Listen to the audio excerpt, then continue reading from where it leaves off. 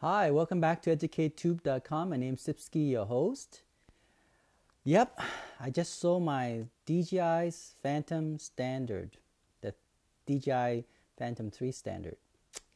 It was cruciating. It was a really hard decision for me to decide whether I should sell it or keep it. I had a video um, probably about almost a month ago regarding to you know to keep my DJI Phantom 3 standard, and it was a good decision. The only thing is, for me to change would be when if DJI come up with some kind of drone that is like you know two or three steps ahead of the game right? So I'm thinking, uh, should I upgrade to DJI Phantom 3 Pro? Well, hmm, maybe. I already have that already. Uh, should I upgrade to DJI Phantom 3 Advanced? If it's cheap, yes, I would do that. You know, say half the price. But, you know, DJI Phantom 3 Standard is actually quite good for uh, cinematic filming, like when you're starting out, and I said that before. But what would change the game? Like for example, uh, DJI Phantom 4, you know, has 4K. But the thing is, you know, you look at DJI Phantom 3 series and DJI Phantom 4, and even the Mavic uh, Pro, they all have a very small uh, sensor size, the camera size. It's one and 2.3 inch sensor. So, you know, you'll get a good quality uh, filming in a good light, like say in a, you know, morning sky or afternoon sky or just before, you know, the, the sunset. You get a pretty good shot, but then when it gets dark, it's not going to be as good if you, the sensor is too small. So the sensor that they provide with the Phantom 3 series and the 4 and even the Mavic is equality equal to I would say uh, your smartphone, you know, a decent smartphone. So I'm thinking, hmm, I already have standard DJI standard, and I have also the uh, advanced. And should I, you know, upgrade to like Phantom 4? Uh, and I decided, no, I'm not going to do that. However, when DJI came up with the DJI Phantom 4 Pro, I look at the spec and I'm like, that is enticing. That is actually what I would want because see, I have invested in a Sony camera already. I have a Sony A7S II. I have Sony A uh, 6300. They have, um, you know, the Sony A7S II is a full frame camera with, you know, 4K feature a slow mo uh, was it 120 frames per second and same thing with the sony a6300 also have that feature. And even have uh, s-log you know 2 and 3 beautiful cameras for uh, you know doing short films and all that. And i'm like okay a drone with a higher sensor like say one inch or more would have been nice. So when DJI came up with this uh, DJI Phantom 4 Pro, I'm like, wow, that would be the drone I would upgrade to from a standard or advanced uh, Phantom 3 to that, right? So uh, upgrading to Phantom 4 would not be that much of an upgrade if you do a, uh, you're, if you are a cin- cinematic photographer or a cinematic videographer, right? It wouldn't really change the game. So I'm thinking, unless they have a better camera, then I would do that. And so they did. DJI came up with this. And so I did sold my DJI Phantom uh, 3 Standard and replace it with, yes, DJI Phantom 4 Pro. Now I bought it aftermarket, so it was a little bit cheaper. Um, had a great deal. So next time I'm to show you how it works and you know the quality and all that. But I never regret now that I bought it because now I went from a 1 and 2.3 uh, inch sensor to now a full inch sensor from a 2.7K to now a 4K 60 frame per second. And then it has all these tap features, tap fly and follow me and all this stuff. It's like incredible, and the battery lasts a little bit longer. Um, it has all these sensors so that it won't crash. Not so important to me, especially when you are doing manually, right? When you're doing cinematic uh, filming, it's better to do manually anyway.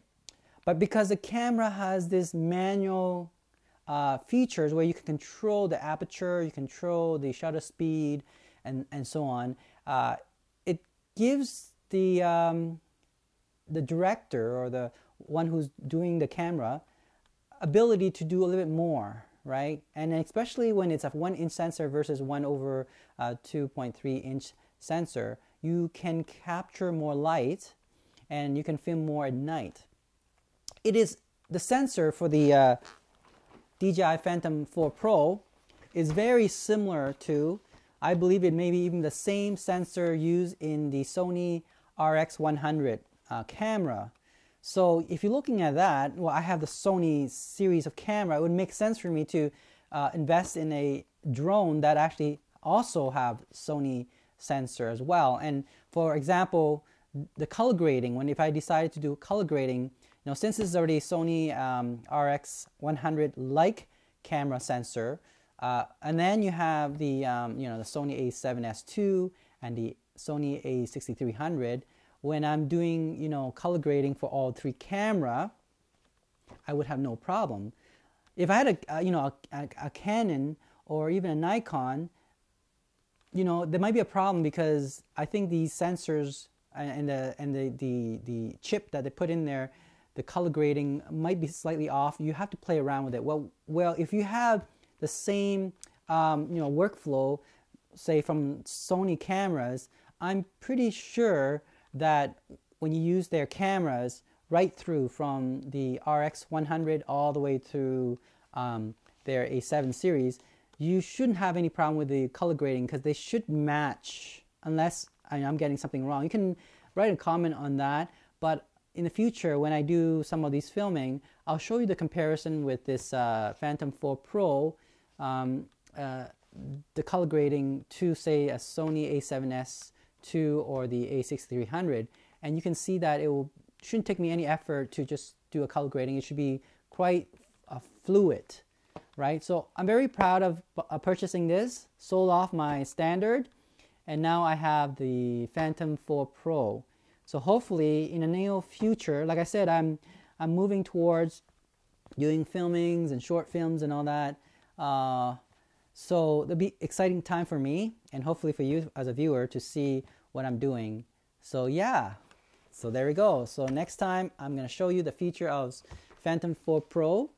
I also have uh, Phantom uh, 3 Advanced as well. And we can compare, you know, the camera qualities, right?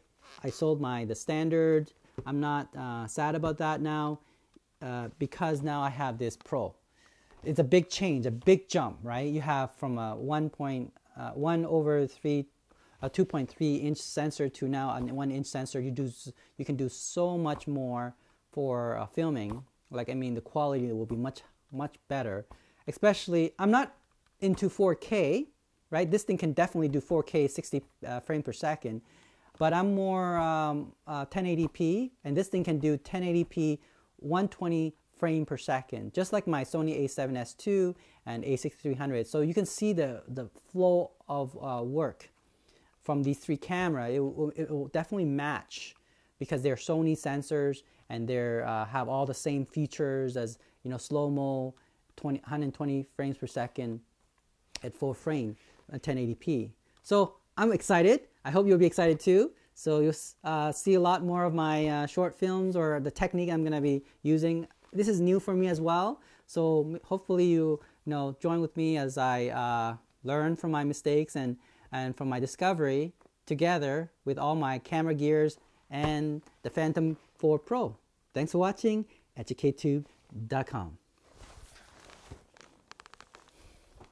Oh, by the way, I forgot. Um, I'm creating a channel. Um, just blogging, talking, vlog, uh, vlogging, whatever you want to call it. Uh, it will be called Sipski. That would be my name. Uh, on a separate channel, you can check on the, uh, I guess this would be the right side. Uh, there's a link there. It's called Skip Sipski. It's a specifically not dealing with just technology, but just uh, talking in general about life and my my take on it. Okay, so it'll be everything that normally I just uh, come out of my brain and you know just spill it all out to you guys. And uh, something is just very deep, and something is just maybe a comment about a movie I just watched recently. So if you're interested in that, go ahead and uh, subscribe to Sipski channel in the near future. I will also do that as well. Uh, probably weekly, maybe bi-weekly. I'm not. I'm not bi-week, bi-monthly, and we'll see how it goes. But um, I think there was someone who requested that I, I do a lot more talking. Uh, you know, just just vlogging and um, talk about what's happening in my life and generally what's going on with the world and how I feel about it and my my point of view. And maybe it's interesting to you. If you don't want to watch it, that's fine. Just stick with this channel, educatetube.com or educatetube uh, YouTube channel, and uh, we'll just talk about inventions, gears, and uh, neat neat stuff. All right, and demonstration and how to and all that stuff, and even science and math. Right. Thanks for watching. EducateTube.com.